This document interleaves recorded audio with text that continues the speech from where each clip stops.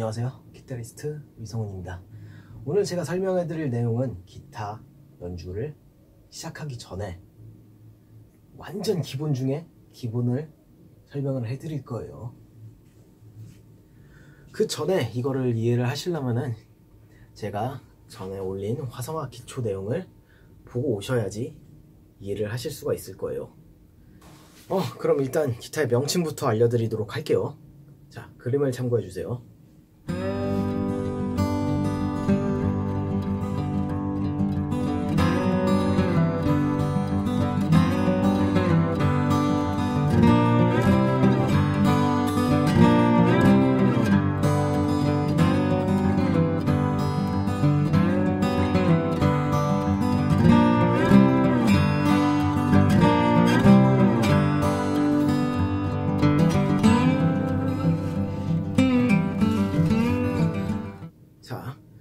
기타에 달려있는 줄.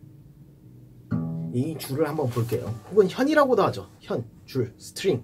뭐 같은 의미입니다. 가장 굵은 줄의 이름은 우리는 6번 줄이라고 합니다. 그 다음 얇은 줄의 이름은 5번 줄이라고 합니다. 이런 식으로 순차적으로 4번, 3번, 2번, 1번 줄이라는 표현을 하고 있습니다. 아무것도 잡지 않고 그냥 현을 튕겼을 때 나는 소리를 개방현이라고 합니다. 이때 나는 음은 6번 줄 미, 5번 줄 라, 4번 줄 레, 3번 줄 솔, 2번 줄 시, 1번 줄 미입니다. 자, 여기서 6번 줄부터 1번 줄까지는 두 옥차브 차이가 나고 있어요.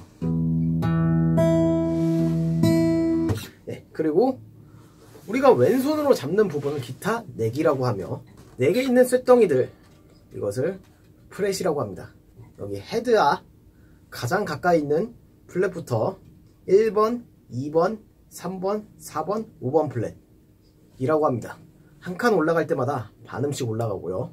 그리고 사진에서 보셨다시피 4개 있는 이 동그라미 녀석들을 이제 position mark라고 했는데 정확히는 일레이라고 해요.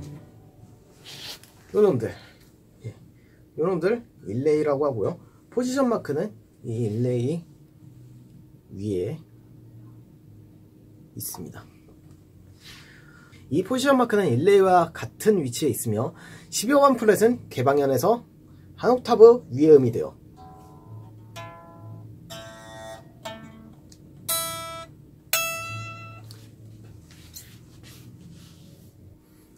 자 그리고 헤드에 있는 이 헤드머신 줄감개를 보도록 하겠습니다. 기본적으로 이 헤드머신은 줄의 음정을 맞추어주는 역할을 합니다. 자, 이와 같은 타입의 기타는 6번 줄부터 4번 줄은 시계 방향으로 돌리면은 음이 낮아지게 돼요. 그리고 반시계 방향으로 돌리면은 줄이 조여져 가지고 음이 올라가게 됩니다. 1번 줄부터 3번 줄은 반대로 생각하고 조율을 하시면 됩니다. 자, 6번 줄 얘를 기준으로 한번 볼게요.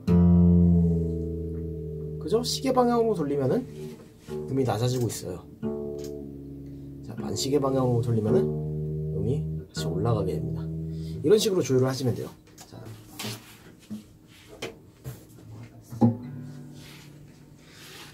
자, 이와 같은 타입의 기타는 이제 전부 다 위쪽에 있죠. 그래서 1번 줄부터 6번 줄까지 전부 시계 방향으로 돌리면 음이 낮아지고 반시계 방향으로 돌리면 음이 올라가게 되어 있어요. 기본적으로 조율, 튠업 혹은 튜닝 한번 해보도록 하겠습니다. 기본적으로 튜너를 이용해가지고 조율을 하고요. 튜너는 워낙 다양한 종류들이 많아서 하나하나 설명해드리기가 조금 어려워요. 그 점 이해해 주시고요. 자, 요런 놈을 헤드 튜너라고 합니다. 기타 헤드에 달아서 현의 울림을 감지해서 음을 표시해줘요. 440Hz가 기본 세팅이 되어야 합니다. 1초에 440회 진동한다라는 의미이고요. 참고로 클래식 관악기들에서는 442Hz로 튜닝을 하더라고요. 보통 이 튜닝기의 왼쪽은 음이 낮은 것이고요. 여기 오른쪽은 음이 높은 것으로 알고 계시면 됩니다. 자, 튜닝을 한번 해볼게요. 자, 여기 보시면요.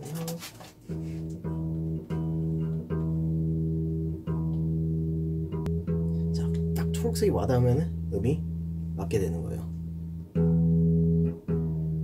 자, 이건 음이 D까지고 E까지 맞춰줘야 되니까 예, 음이 지금 딱 맞았죠? 여기서 더 올리면은 F가 돼버리고 다시 낮아가지고 E보다 살짝 높으니까 E보다 지금 살짝 높죠? 이럴 경우에는 조금 시계 방향으로 돌려가지고 음을 낮춰줘야 돼요 이런 식으로 튜닝을 하면 됩니다. 1번 줄부터 6번 줄까지 제가 말한 대로 이제 미라레 솔시미를 튜닝을 하시면은 기타 연주할 준비가 되신 거예요. 어 저는 기본적으로 일렉 기타 같은 경우에는 Fractal Axe-Fx 3에 내장되어 있는 튜너를 씁니다. 튜닝을 하는 방법은 동영상을 하나 따로 첨부할 테니까 참고를 해주시고요. 자, 이 녀석이 바로 Axe-Fx 3라는 녀석이고요. 얘는 안에 여러가지 앰프들을 simulating을 해놨어요. 그러니까 비슷한 사운드가 나게끔 해놨는데 너무 똑같아요. 원래 실제 앰프하고요. 음, 그래 사운드 보시면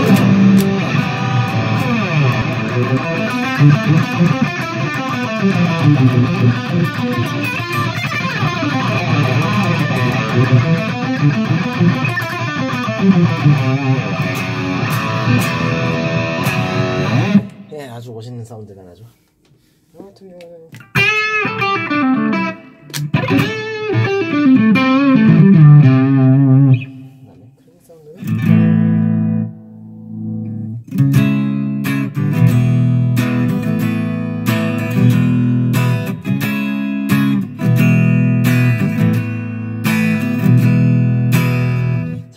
튜닝 튜너를 누르면 이런 식으로 튜너가 나옵니다 어 제가 세팅을 어, 튜닝기로 바- 변환을 했을 때 사운드가 밖으로 안 나오게끔 세팅을 해놔 가지고요. 이제 앰프 simulating 된 사운드는 이제 스피커 밖으로 안 나올 거예요. 자 보시면요. 6번 줄이 아까도 제가 느꼈지만은 튜닝이 낮아져 있죠. 식으로 튜닝을 올려주면 돼요. 이것도 낮아져 있네요. 이것도 올려주고 얘도 올려주고 4번 줄 D 3번 줄도 너무 많이 올렸죠? 예, 이게 딱 맞네요. 2번 줄. 아, 너무 많이 올렸죠, 방금? 자, 마지막 1번 줄, 1번 줄 맞네요.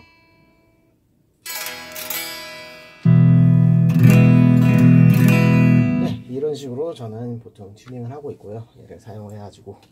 음, 앞으로 원래 영상들도 얘를 이용해서 사운드를 많이 만들 거예요. 예, 기대해 주시기 바랍니다. 어, 이런 식으로 튜닝을 완료하셨으면 이제 제 레슨 영상을 따라올 준비가 되신 것입니다. 항상 제 레슨 영상을 보실 때 튜닝을 먼저 하고 영상을 따라와 주시기 바랍니다. 감사합니다.